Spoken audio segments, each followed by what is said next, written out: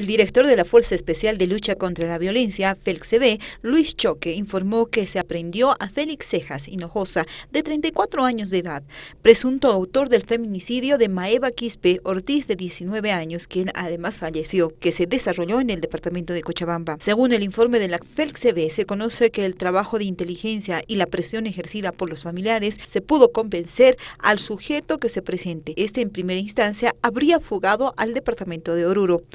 A las 3 de la mañana se entregó Félix Cejas, quien sería autor del feminicidio que se dio hace más de dos días. La autoridad policial reveló que la madre y el hermano del ex reo, en declaraciones informativas, confesaron que alteraron varios elementos en el escenario del crimen. Cambiaron la ropa de la víctima procediendo a limpiar el lugar.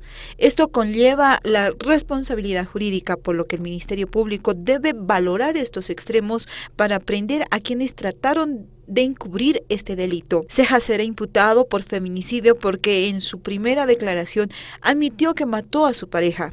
Según el informe de la Fiscalía, la madre y el hermano también están citados para las próximas horas.